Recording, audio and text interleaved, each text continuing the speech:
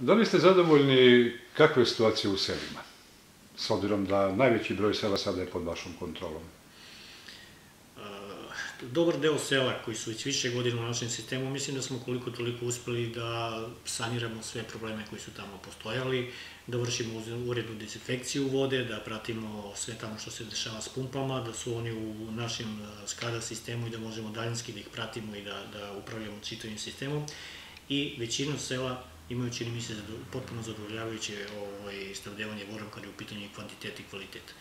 Malo veći problem je selo Belo polje, koje smo zadnje preuzeli i gde ćemo verovatno tokom ove godine morati da intervenišemo, da možda doradimo sistem, da otklonimo neke kvarove, da bi i to selo bilo i kao i ovih ostalih 19 koje je u našem sistemu. Naravno, postoji sela koje su kandidati za preuzimanje, sela koja jednostavno i nemaju volju da budu deo vodovoda, znači tu negde donekle imamo uvid, nastojimo da i ta sela pomognemo time što ćemo im dati hlora, ugraditi hlorinatore, ali znači taj deo još uvek nije uređen.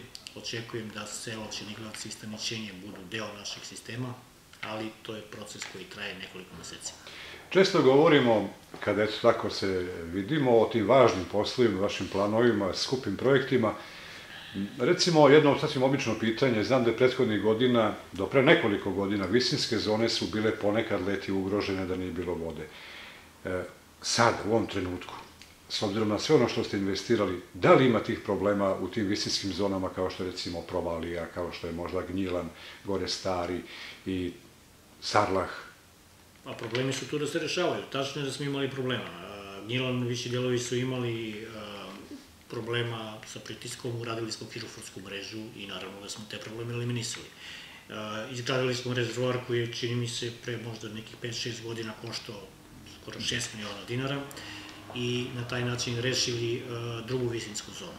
Kažem, rešili, uh, dešava se u onim najtoplijim danima leta, da kada svi istovremeno krenu da navodnjavaju svoje bašte. Neracionalno da, korišćenje To je neracionalno korišćenje, znači vodovodna mreža je projektovana da ljudi dobiju vodu za piće i naravno za korišćenje što se tiče higijene, a ne za navodnjavanje i ne za neke namene koji se vode koristi.